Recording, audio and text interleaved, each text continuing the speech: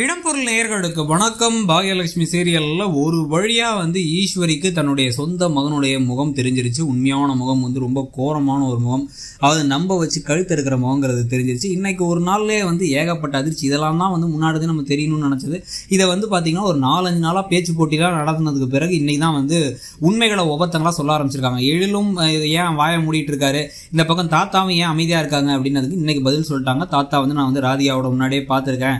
அப்படிங்கிறலாம் சொல்லி அவர் வந்து நான் எவ்வளோ சொல்லியும் கேட்கல. எனக்கு அடிபட்டதுக்கே அவன் சந்தோஷம் தான் பட்டிருப்பாங்கிறதையும் சொல்லி சொல்லியாச்சு.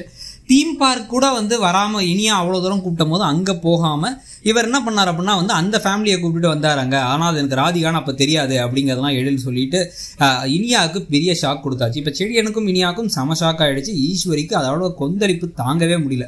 பலார் பலார் பலார்னு விட்டாங்க. நமக்கே வந்து செமையாக சந்தோஷமாக இருந்துச்சு. ஏ ஹாப்பி அப்படிங்கிற மாதிரி இருந்துச்சு. நிஜமாவே வந்து பார்த்தீங்கன்னா ராஜலக்ஷ்மி ஈஸ்வரியா ரொம்ப நல்லா இன்னைக்கு பண்ணியிருந்தாங்க. முடிஞ்ச வரைக்கும் நல்ல நல்ல எக்ஸ்பிரஷன்ஸ்லாம் இன்றைக்கி கொடுத்துருந்தாங்க. நேற்று முதல் முந்தான அதெல்லாம் வந்து நமக்கே கோவம் வர மாதிரி செஞ்சாலும் நீங்கள் நல்லா பண்ணியிருந்தாங்க.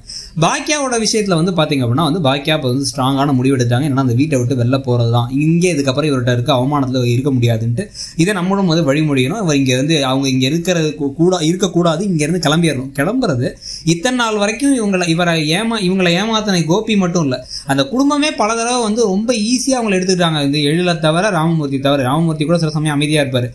ஸோ அதனால் இதுக்கு எல்லாத்துக்கும் சேர்த்து வச்சு அந்த குடும்பமே கொஞ்சம் வந்து அல்லோல கலோலப்பட்டு அவங்க இல்லாமல் இங்கே இருக்கவே முடியாமல் இருந்து அதனால வந்து அந்த கோபத்தை வந்து நம்ம முன்னாடிருந்தே சொல்லிருக்க மாதிரி கோபி மேலே காட்டி கடைசியாக கோபி நான் அந்த வீட்டை விட்டு வெளில போகிறேன் அப்படின்னு அவரே முடிவு பண்ணி இதுக்கு மேலே இங்கே தான் நமக்கு மரியாதை இல்லை. ப்ளஸ் வந்து அவமானத்திலேயே நம்ம வந்து கூலி குறுகி நாணி போயிடுவோம் போலன்னு சொல்லிட்டு கிளம்பிடணும். ஸோ அவரை கிளம்புனதுக்கு பிறகு இவங்க எல்லாரும் கெஞ்சி தயவு செஞ்சு வீட்டுக்கு வாங்கன்னு சொல்லி பாக்கியாவை கெஞ்சி நீ தான் எங்களுக்கு ஆணி வேறுனு கூப்பிடணும். ஸோ அதெல்லாம் நடக்கும்னு நினைக்கிறீங்களா? ப்ளஸ் பாக்கியா இப்போ வெளில போகிறத பற்றி உங்கள் கருத்து என்னங்கிறத சொல்லுங்கள்